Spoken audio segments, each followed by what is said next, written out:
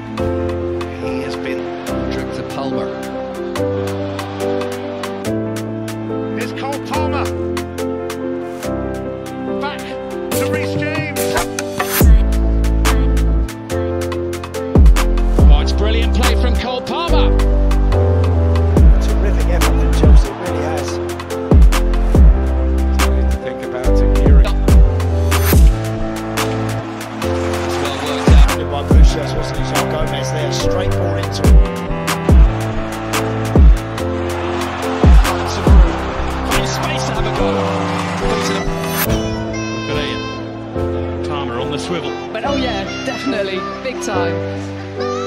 That's good news for... Need to come on. Palmer. Into the right direction. Now Thomason will be having a look at it on the sideline and certainly half...